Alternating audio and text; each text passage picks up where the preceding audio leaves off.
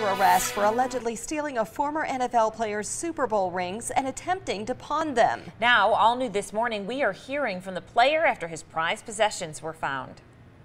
I thought they were going forever. I was dealing with the insurance company at that point.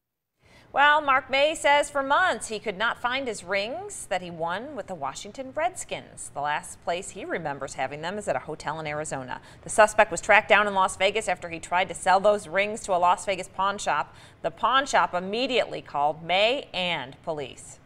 I attribute it to probably four or five things. One, luck. Yeah. Uh, luck to get them back. Um, two, um, good police work by um, Detective Sway and the Las Vegas De- Police Department. Three, the integrity of the Pawn Star guys and Diamond Don. Hmm. Well, May says he plans to head to the valley next week to pick up his property. Good for him. A man who